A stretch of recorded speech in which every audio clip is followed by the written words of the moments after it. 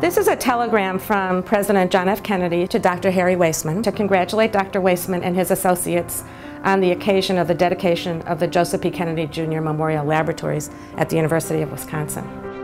And this is what the President said.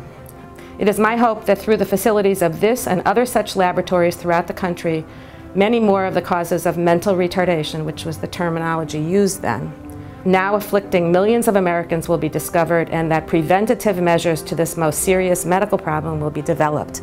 My special good wishes go to Dr. Waisman on the culmination of his dream and to the many young people who, through his efforts and that of the University of Wisconsin, will now be able to enter and soon conquer the vast field of mental retardation and its attendant problems, John F. Kennedy. But I want to point out that the date on this telegram is a historic date. It's November 20th, 1963 which was just two days before President Kennedy's assassination.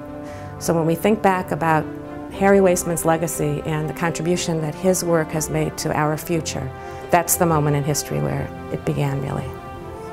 And social responsibility of all physicians who see children. The reason that, that the University of Wisconsin named the Waisman Center in memory of Harry Waisman is that he died at a young age in his 50s, um, tragically and he was to be the first director of what was going to be called the Joseph P. Kennedy Jr. Memorial Research Center.